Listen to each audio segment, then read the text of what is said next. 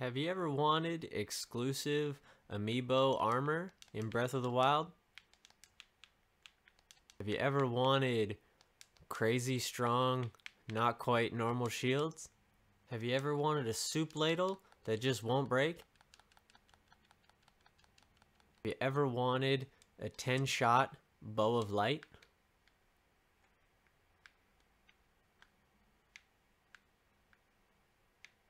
Have you ever wanted to just fly across the map?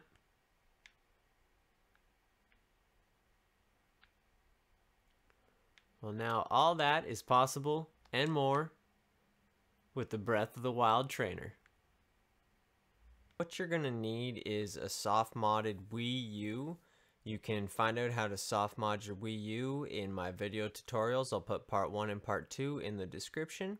You're going to need a Windows computer as well as a copy of Breath of the Wild, either the European version or the USA version. Okay guys, so what you're going to want to do is click the link in the description and go get Joff Nerd's BOTW trainer. It's going to be the app.publish.zip. Just download the newest release. Head over to the downloads, right click this, extract it to app.publish, put it in its own little folder delete the original zip, you don't really need it. I'm just going to rename this BOTW trainer.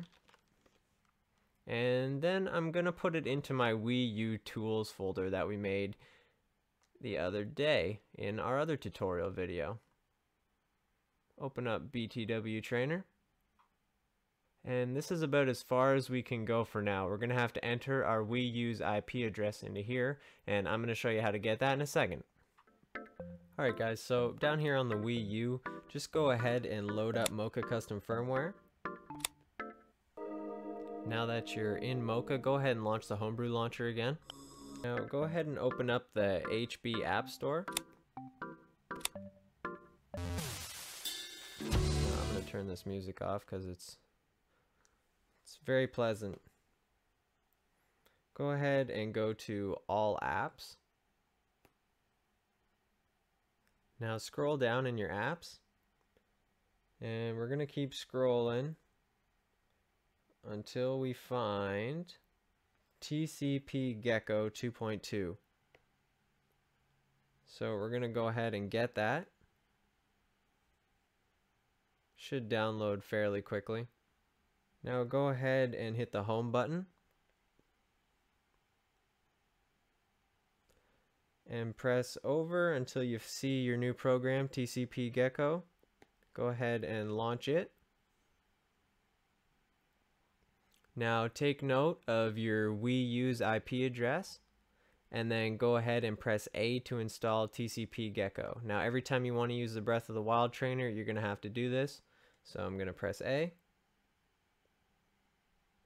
So now go ahead and load up The Legend of Zelda.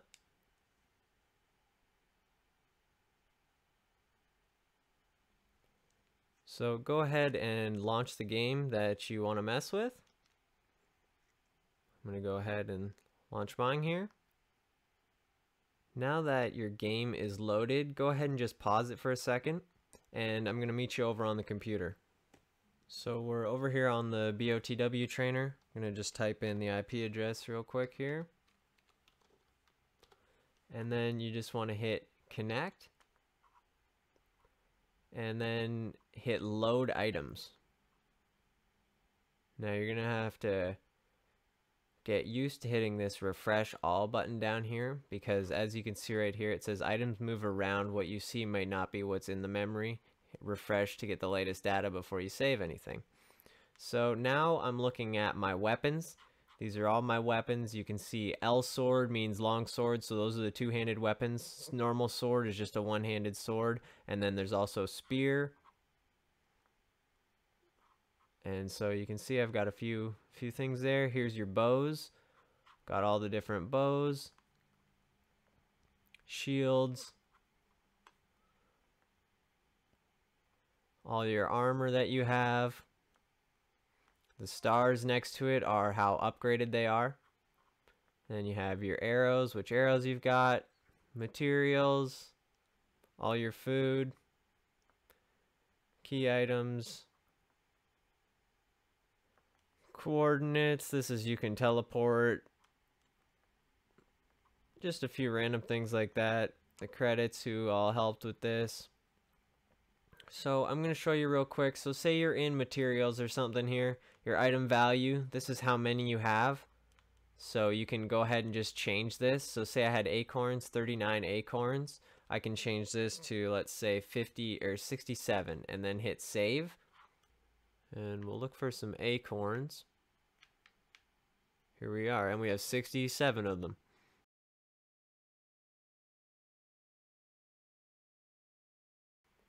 So real quick, I will give a link in the description for the Breath of the Wild trainer values here. So these are eventually these are essentially the short swords. Now you can just swap out any short sword for one of these ones by copying the number. Say you wanted, let's see, the Moonlight Scimitar, or now let's get something cooler than that. The Goddess Sword from Skyward Sword, and this is an amiibo item. So it's 057. We'll go over to the trainer and we'll find a short sword. So here we'll use this Royal Broadsword and we'll type in 057. We're going to go ahead and hit save. And now it's become the Goddess Sword. And now we'll go over to the Breath of the Wild. And I'm going to hit start. Go over to my swords. And I should have a Goddess Sword. Here it is. So that easy. Now we've got a nice goddess sword. We'll go back over to the trainer. So now we have the ability to mod these weapons. So swapping them out is just that simple. Uh, it's the same with the bows, same with the shields. Just replace the number. So mod amount and mod type are the only things that really matter. I'll show you up here. The easiest to mod are the bows. So for the bow mods, you can make any bow a multi-shot bow by changing the mod amount. Now the mod amount is going to be how many arrows. So you can see here 0, 0, 0, 0, 0, etc. over to 0, 0, 0, 10 for the amount of arrows. So example, 0000010 is a 10 shot bow, which is technically you can't have. It'll come up as a 5 shot, but the bow of light, as an example, will shoot 10 arrows, and the Lynel bows will shoot up to 9 arrows. And so if you put a 0.5 here instead, it would be a 5 shot and a 3 shot, etc. You get the idea. You can also make it a quick shot you can change the attack up so you can make the bows extremely powerful. You can do the same thing with the weapons. So you can see one of the other attributes is attack up. So you can essentially change this attack up to anything you want and apply it to any weapon and make some crazy strong weapons. So you can see under weapon mods, the attack up mod is this one here. So we'll copy it, go over to our goddess sword, paste it in, and then over here, said we wanted it to be 10 attack up. We change it to 10 at the end. If we want it to be 14, for some reason it's E, but we want to go crazy. We're going to put in, let's see, 10,000. I'm going to hit save. And we should have, we'll exit the menu, open it back up here. We should have a crazy attack goddess sword. There we go. 65,000 attack goddess sword.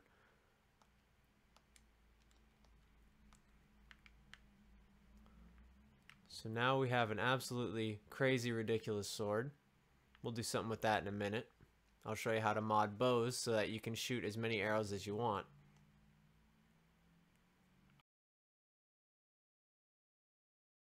So I'm going to go ahead and copy this mod. I've got a regular silver bow. We're going to go ahead change the mod type to this one. And then we'll change the number. We'll make it a 10 shot. It'll probably only actually be like an 8 shot or something. And we'll hit save. So we'll shoot it up. And there's one, two, three, four, five, six, seven, eight, nine. Nine shots with the silver bow. Pretty cool. So say you wanted the bow of light with multi-shot or the twilight bow with multi-shot. So see twilight bow is 72, so we'll replace our silver bow with 72 Hit save. And now it's the Twilight Bow, which is from the Amiibo. And it should have a bunch of shots. Shoot up in the air here. One, two, three, four, five, six, seven, eight, nine. Nine shots with a Twilight Bow. That's how freaking cool that is. So there's a few bows in the game, such as the Savage Lynel bow that already shoot three shots automatically. So you might not want to add the multi-shot bow mod to it. So you could maybe add the attack up and shoot three really strong arrows.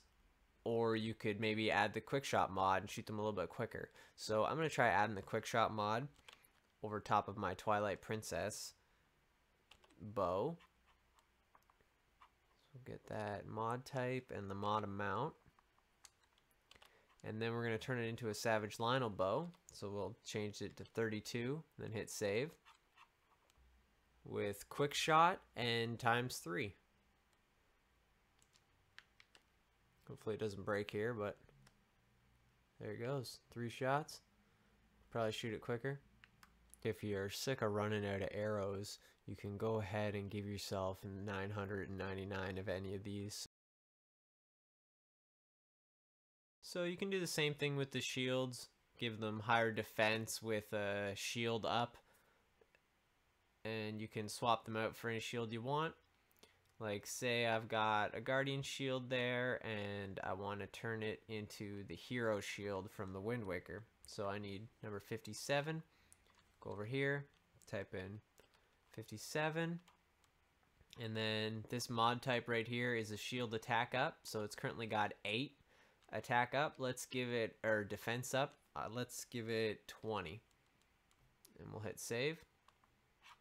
Now it turned into the Wind Waker shield. And let's see. So here it is. Shield guard up with a 32. So now we've got a pretty strong Wind Waker shield with a 97 defense. That's pretty awesome. If you want to start getting yourself some amiibo armor or any armor for that matter, you're going to need something to replace it over top of. So go ahead and travel over to Kakariko Village and we will head over to the little tailor shop down here. Should be a woman outside telling us to come inside. So we're going to go in here and basically just buy all of the Hylian equipment.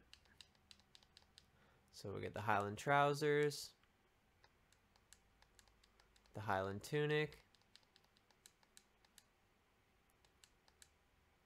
and we'll get the Hylian hood.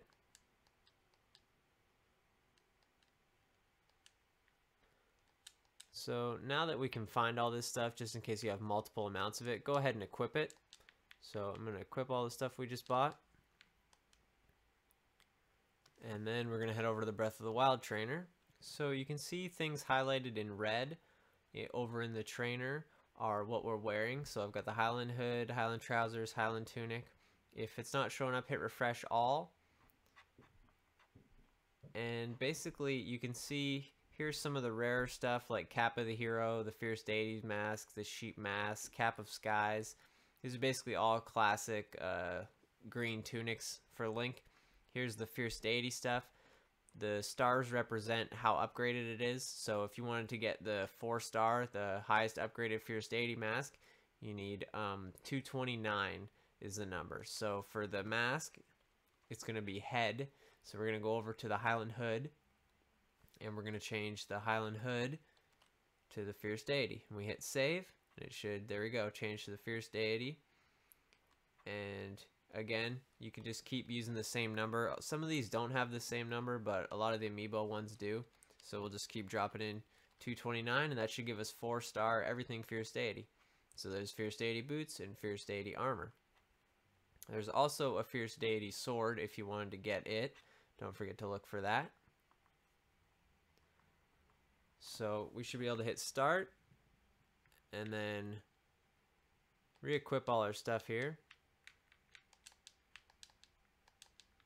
And now we have the Fierce Deity clothes. So you can pretty much do that to get any amiibo stuff or even any upgraded armor that you want.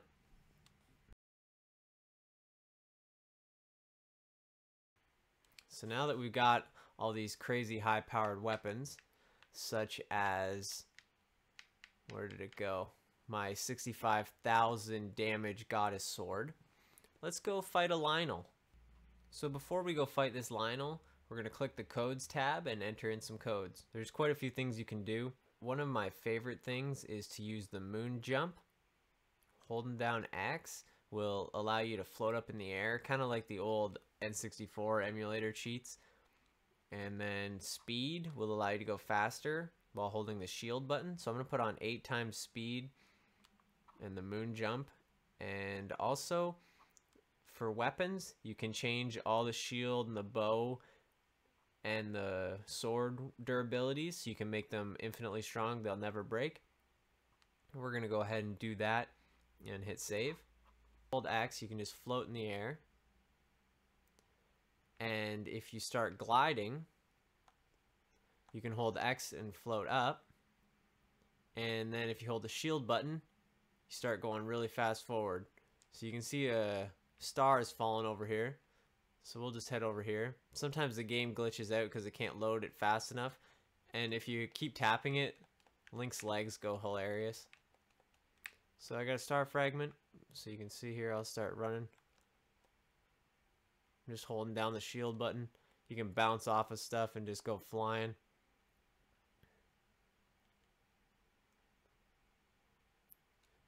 And I've decided that maybe the Goddess Sword isn't the best thing to fight the Lynel with, even though it's got 65,000 damage. So I'm going to change it to something a little bit cooler. Eh, not quite cool enough. There we go. Over there is a crazy strong Lynel. We're to go fight him with our new trusty soup ladle and Wind Waker shield. Fly over there with our new flying ability.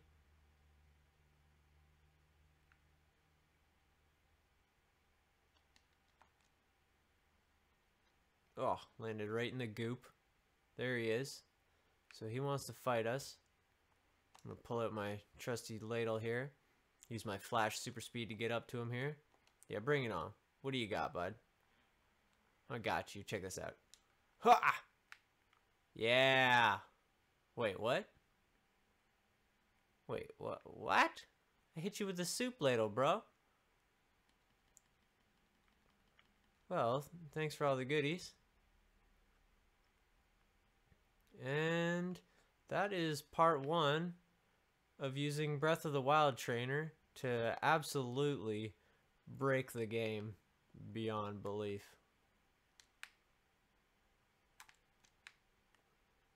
Wahoo!